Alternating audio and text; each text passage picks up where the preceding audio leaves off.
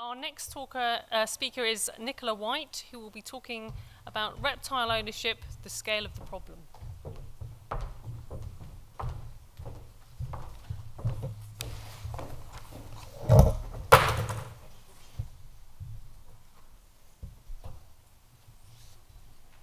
So something a little bit different for people who are used to cats, dogs and horses. I love cats, dogs and horses, but I also love reptiles. Um, I work at the RSPCA. I'm the Senior Scientific Officer, the specialist on exotic pet um, trade and uh, keeping. Um, so one of the species, one of the um, animals, types of animals that I work on is um, reptiles. Um, the worry is that there's been a, a, rise in the number of people who are keeping reptiles. as you can see, the Pet Food Manufacturers Association statistics show from 2008 to 2014 the amount of animals that are now being um, kept roughly, obviously, Um, the scale of the problem, sorry, pardon the pun, for the RSPCA is uh, that uh, from 2011 to 2015, the number of calls that we received to our cruelty line rose by 33%, and Uh, more importantly, somewhat for the RSPCA, the number of animals that the inspectorate collected has ri had risen 16%. Now, that is of particular concern for us, particularly as you, as you look at the RSPCA's animal centres, where we actually only have one that has purpose-built facilities to take in reptiles. So it's a massive problem for the RSPCA, and we need to look at why it's happening. So here are a few case studies um, from animals that we have collected, and they're very sad case studies. Top left, you can see this is actually a vivarium um, containing a dead corn snake, and this was just about three weeks ago. It was found in an alleyway, um, someone called it in, and unfortunately, by the time the officer arrived, the snake was dead. Um, it's actually a completely unsuitable enclosure as well for the animal, and whether or not it died right then and there, sorry, before being dumped or afterwards, we don't know. Um, top middle kind of standard situation. It's a Burmese python. It's an enormous snake and it's stuck there in a tiny enclosure.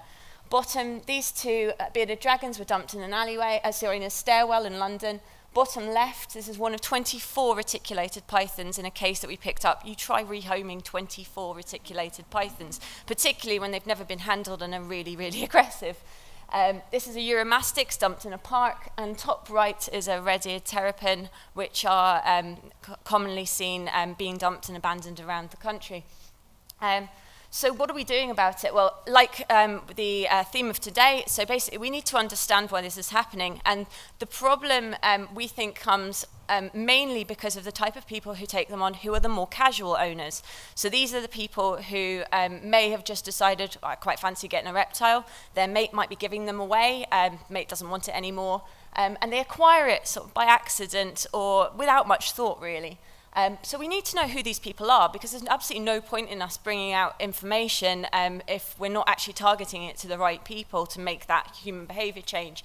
Um, there's absolutely no point in us also trying to speak to these people in a way that, that's not being received. So do these people um, use social media or would they prefer to read a pamphlet? So what we're trying to do is we're carrying out research at the moment um, to find out who these people are and map the journey they're taking to buy this animal or acquire it. So we want to know who they are, what species they're looking at getting. So is it the more commonly kept species that you might find down the pet shop, or is it a species that you're more likely to find online? Where are they getting their reptile from? So online is obviously quite a major problem when it comes to the reptile trade. Anyone can buy pretty much anything. Try Googling it. It's really quite staggering. Um, uh, we want to know why are they getting that particular reptile? Is it because they think it's cool? Is it because they think it's quite easy to keep? Um, do, do they think it's cuddly? Some people do believe it or not. And how are they obtaining their care information? Is that before they get the animal? Is it afterwards? Who's it from? Will they listen to the RSPCA at all, or would they prefer to speak to somebody who's in the trade? We need to know all of this before we can make any change at all. There's absolutely no point in us going into trying to provide information and change behaviour without understanding these people.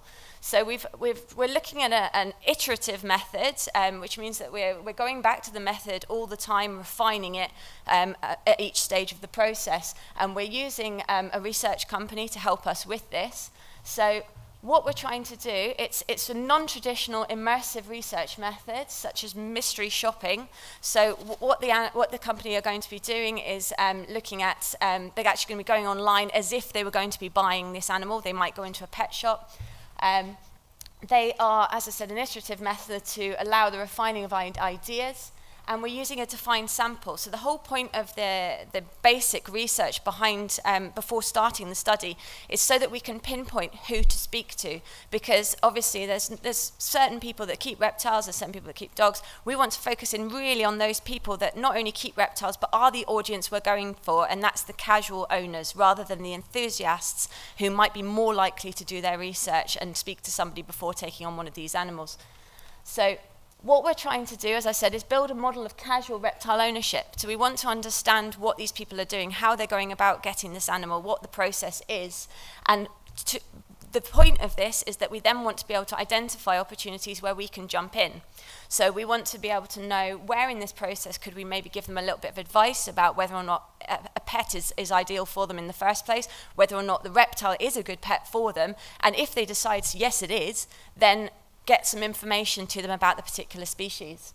Um, we want to pinpoint where we can influence good behaviour, um, highlight any key welfare concerns. So is there a particular kind of concern there? Is, is the enclosure not big enough that they're choosing? Um, is it, is it particular, are they going down the route of getting a more dangerous species and should we be pointing them towards one that's more achievable to look after? And um, we want to know how to communicate with these people, whether it's through social media, leaflets, etc., and whether or not they will even listen to the RSPCA in the first place, in which case we need to work in partnership with other organisations. That's, that's everything that we're doing at the moment. Thanks very much for listening and for having us today.